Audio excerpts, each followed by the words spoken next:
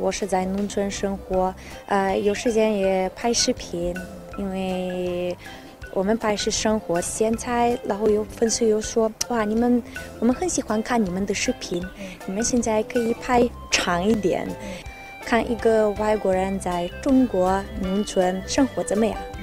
然后我们是拍拍拍，粉丝喜欢，我们也喜欢。雕木头这个是特别厉害的，我现在看看看到了，特别厉害，非常好看。我妈妈旁边也一直说哇哇哇哇，特别厉害，特别厉害。在中国，呃，很多人喜欢过年。